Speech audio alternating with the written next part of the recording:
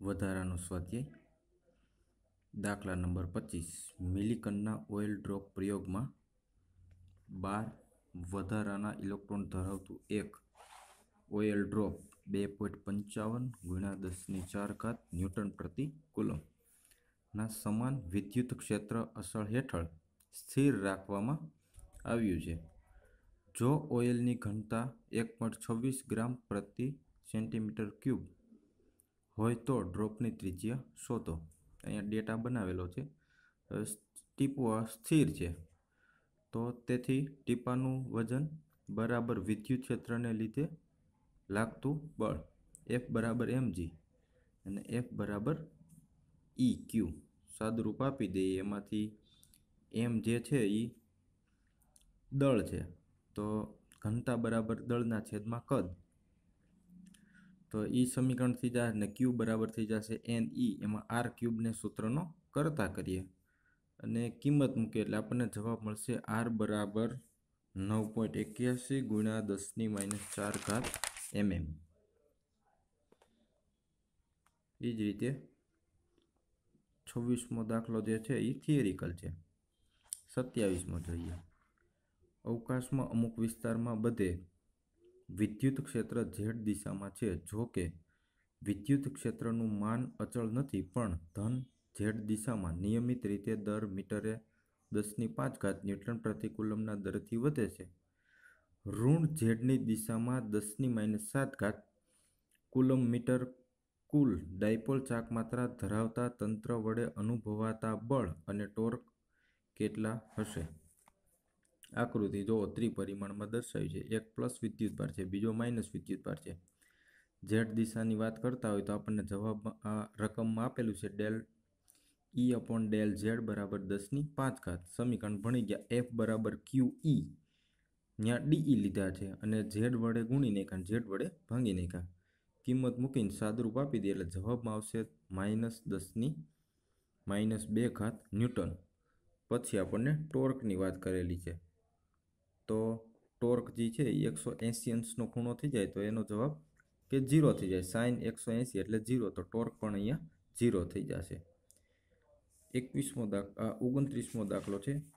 એક પોલા વિદ્યુત ભારિત સુવાહક સપાટી પર એક નાનું છિદ્ર કાપેલ છે. દર્શાવો કે તે છિદ્રમાં વિદ્યુત ક્ષેત્ર સિગ્માના છેદમાં two epsilon zero n caret છે. જ્યાં એન કેરેટ બહારની તરફ લંબ દિશામાંનો એકમ સદિશ છે અને છિદ્રની નજીક વિદ્યુતભારની પૃષ્ઠ ઘનતા છે. આકૃતિ જોઈ શકાય છે કે એક વિદ્યુતભારિત સુવાહક સપાટી છે. હવે હોલને ઢાંકેલા વિદ્યુતભારિત વાહક વિચારવાનો છે. અને ગૌસનો નિયમ, તદ્દન બહાર વિદ્યુત ક્ષેત્ર એન કેરેટી અંદરના ભાગમાં શૂન્ય થાય. હવે બે પરસ્પર વિરુદ્ધ દિશામાં ના હોય તો ઝીરો થઈ જાય. કારણ કે જેટલું વિદ્યુત ક્ષેત્ર પ્લસ એટલું જ માઇનસ અને બહારની તરફ હોય તો સરવાળો થાય. તો કે ઈ પ્લસ ઈ ટુ બરાબર સિગ્માના છેદમાં એપ્સેલોન ઝીરો સમીકરણ એક અને બેનો સરવાળો કરી તો ટુ ઈ વન બરાબર સિગ્માના છેદમાં એપ્સેલોન ઝીરો થઈ જાય. બે સામેની બાજુ અંશમાં છે, સામેની બાજુ જાય તો છેદમાં વહી જાય.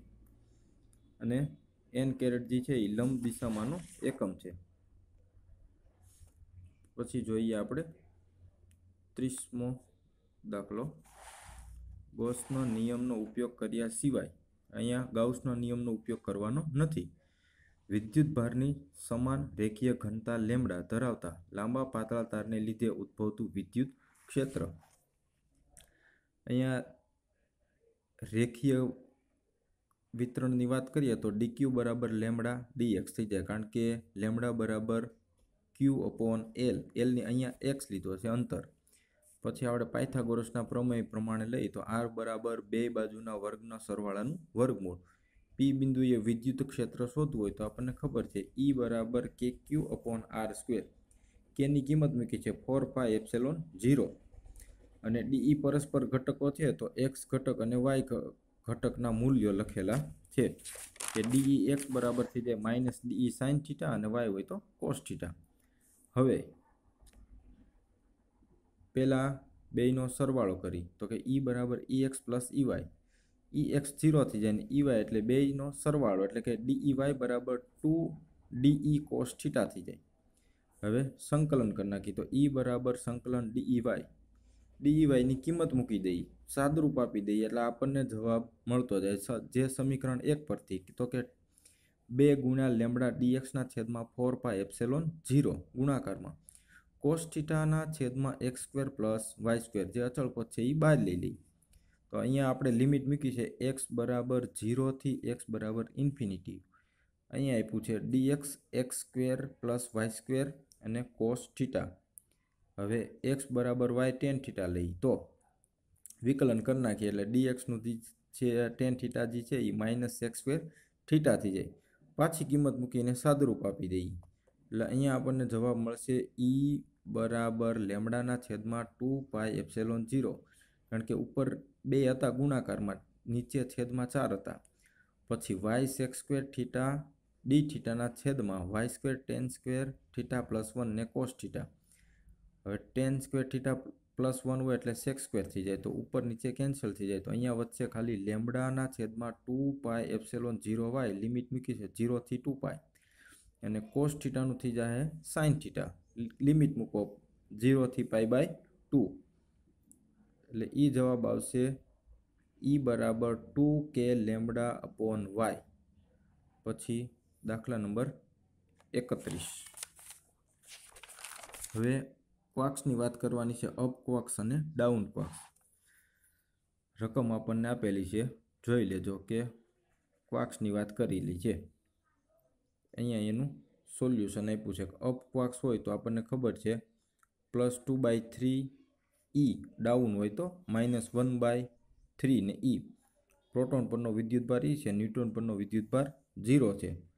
હવે અહીંયા અપ ક્વાક્સની વાત કરીએ તો એ થશે માઇનસ ત્રણ માઇનસ એક્સ ડાઉન ક્વાક્સ અને પ્રોટોન પરનો વિદ્યુતભાર ટોટલ લેવો હોય તો આપણે લેવું પડે કે અપ ક્વાક્સનો વિદ્યુતભાર વત્તા ડાઉન ક્વાક્સનો વિદ્યુતભાર એ આપણને સમીકરણ મેળવ્યું છે. જો યુ એક્સ પ્લસ ડી કાઉન્સમાં ત્રણ માઇનસ વાય. હવે એમાં આપણે કિંમત મૂકીએ તો plus two by three e x plus minus કાઉન્સમાં લખ્યું છે minus one by three e.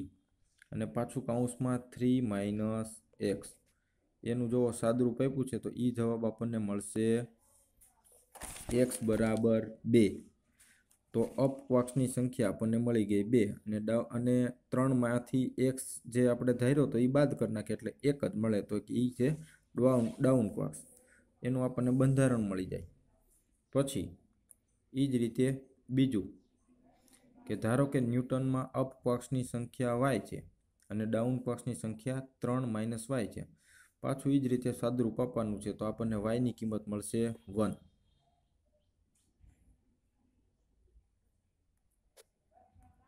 એ જ રીતે આપણને જોવો અહીંયા કિંમત લખેલી છે, કઈ રીતે વાય બરાબર વન મળે છે. માઇનસ ઈ છે એ સામેની બાજુ તો પ્લસ થઈ જાય, એટલે જવાબમાં આવશે આપણે વાય બરાબર વન. પછી એ જ રીતે હવે ડાઉન ક્વાક્સ અને ડાઉન ક્વાક્સ તો ડી બરાબર ત્રણ માઇનસ વાય. વાયની કિંમત વન મળી. તો ન્યૂટનનું બંધારણ આપણને ખબર ખબર પડી જાય કે અપ, ડાઉન ડાઉન. હવે તેત્રીસમો દાખલો. એમ દળ અને ક્યુ વિદ્યુતભાર ધરાવતો એક કણ આકૃતિમાં દર્શાવ્યા અનુસાર બે વિદ્યુતભારિત પ્લેટો વચ્ચે વી એક્સ વેગથી પ્રારંભ એક અક્ષને સમાંતર દાખલ થાય છે.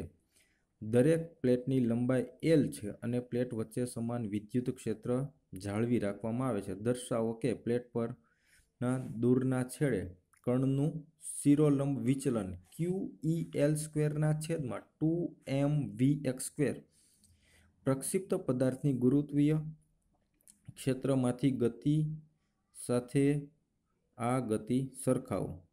આકૃતિ જોઈ શકાય. જો કે અહીંયા મેં આકૃતિ દોરી છે. લંબાઈ એલ છે. ઉપર પ્લસ છે. નીચે માઇનસ છે.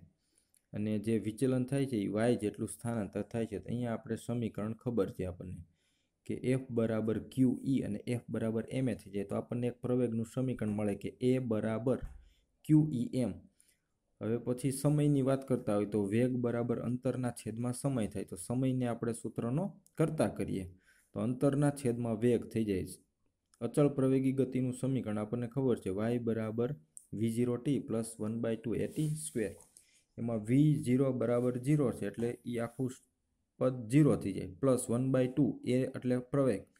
એ આપણે ઉપર મેળવો. ક્યુ ઈ અપોન એમ અને ટી સ્ક્વેર એટલે એલ સ્ક્વેરના છેદમાં વી એક્સ સ્ક્વેર હવે આ સાદુરૂપ આપી દઈએ એટલે આપણે જે જવાબ માંગ્યો છે એ મળી જાય કે વાય બરાબર ક્યુ ઈ એલ સ્ક્વેરના છેદમાં two m v x square હવે જે આ સમીકરણ મેળવ્યું આપણે વાય વાળું એ ચોત્રીસમાં દાખલામાં ખાલી એની કિંમત મેળવવાની છે.